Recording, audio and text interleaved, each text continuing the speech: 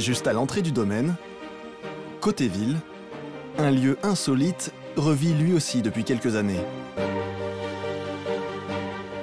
Les écuries du château. Depuis deux siècles, ces bâtiments en forme de fer à cheval avaient perdu leur vocation. Lève les yeux et te tords pas. Allez, galope.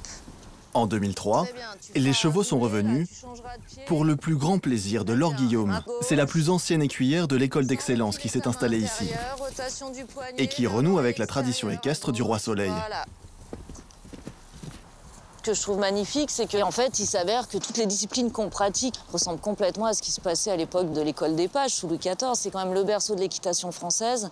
Je trouve ça assez sublime pour nous d'être là et, et en tout cas d'essayer vraiment de faire perdurer cette forme de travail dans tout le respect qu'il se doit. Laure Guillaume a été le témoin privilégié du renouveau de ces écuries, parmi les plus belles du monde. Chaque box est fait de bois précieux et de ferronnerie. Mais c'est un autre élément de décor que la cavalière préfère. Patrick Bouchin, euh, notre architecte en fait, qui a réhabilité le lieu, a souhaité faire des box euh, qui soient très harmonieux avec l'espace, euh, avec les écuries. Et donc, euh, il a eu cette idée assez marrante de, de faire ce qu'on appelle les licornes, en fait, ces néons comme ça qui nous servent à éclairer les box. Le nouveau manège. C'est ici que les écuyers répètent le spectacle qu'ils donnent une fois par semaine. Face à eux, le public siège dans un petit théâtre à l'italienne. Avec ses loges, ses lumières douces et ses miroirs. Clin d'œil à la galerie des glaces.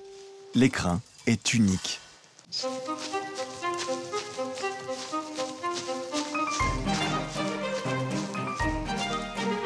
Aujourd'hui, ce ballet équestre est devenu un incontournable dans la vie de ce château, en perpétuelle renaissance.